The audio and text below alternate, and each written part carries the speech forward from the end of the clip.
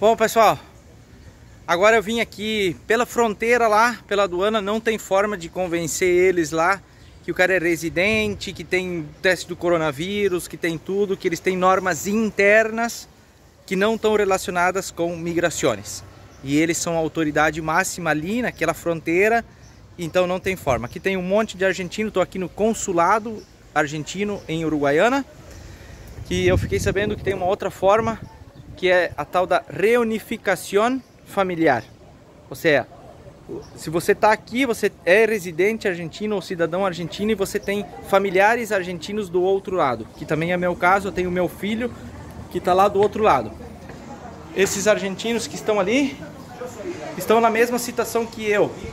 Eu passei a última vez a fronteira em fevereiro, mas eles passaram a última vez pela fronteira para o lado brasileiro em final de novembro e agora eles não conseguem mais voltar por causa dessa normativa nova que está vigente desde o dia 25.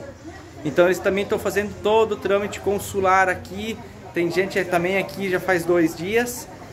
E pelo menos aqui no consulado tem aguinha, tem uns biscoitos aqui. E vamos ver o que, que dá para fazer aqui. Essa tal da reunificação familiar tem que ser paga. É um, um processo que o consulado tem aqui para fazer esse documento. Daí sim, juntando também com o PCR e a declaração jurada, mais o documento do consulado, supostamente dá para passar. Vamos ver o que, que vai impedir agora lá em migrações. Migrações de la fronteira, porque migrações del sitio em internet não disse nada e no boletim oficial do governo argentino também disse coisas a respeito de lo que dizem eles, que são normas internas. O sea, las normas internas están por arriba de un boletín oficial del gobierno. Solamente en Argentina.